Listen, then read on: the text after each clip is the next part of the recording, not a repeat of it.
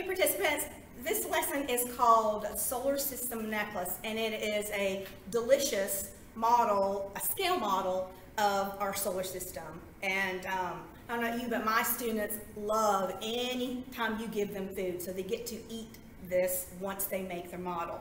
So, um, so what you'll need is three types of cereal. You'll need honeycomb.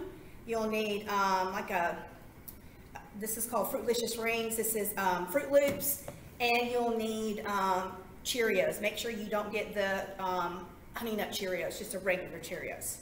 So for this scale model, by the way, you will want to teach um, a couple lessons about the planets, and I recommend um, a YouTube video by Mr. DeMaio.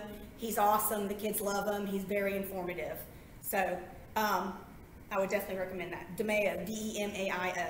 So what you'll want is you want to, like, at least a day before the lesson, you will want to get, and you'll get a ball, you'll get a twine, a ball of string, and you'll want to cut them out. Go ahead and cut them for the kids.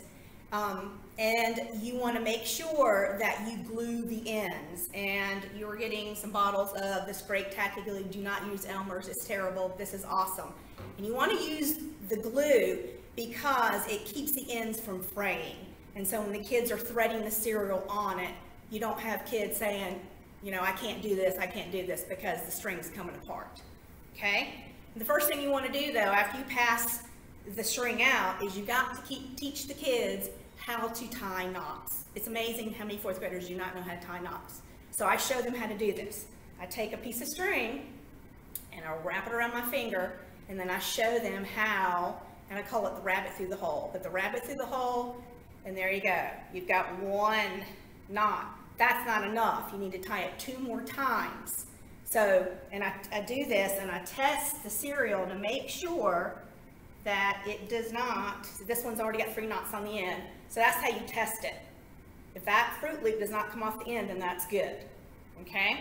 I also tell the kids, help each other out. If you know how to tie knots and your neighbor's struggling, help your neighbor okay? So um, you will have directions for this too.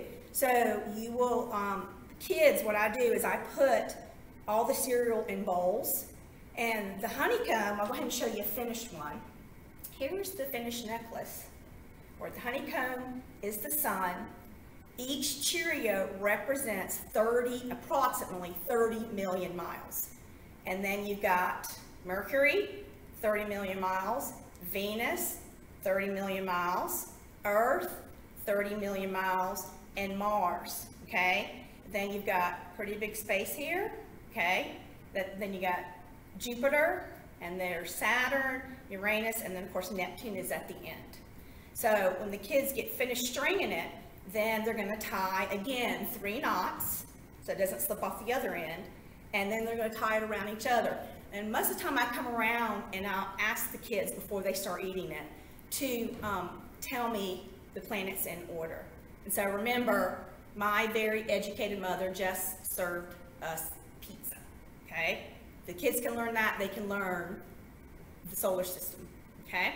So that solar system necklace, I'm sure your kids are gonna love it. Mine do.